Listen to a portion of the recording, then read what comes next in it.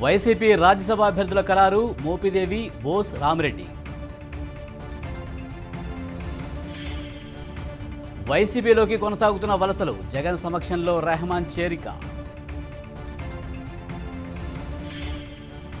కరోనాపై తెలంగాణ ఆరోగ్య శాఖ అప్రమత్తం తాజా పరిణామాలపై ఉన్నతాధికారుల భేటీ. ఆదిత్య హాస్పిటల్ ఎండి ఆత్మహత్య రివల్వర్తో కాల్చుకుని బలవన్ జమ్మూ సోఫియాన్ జిల్లాలో ఎన్కౌంటర్ ఇద్దరు ఉగ్రవాదులు హతం.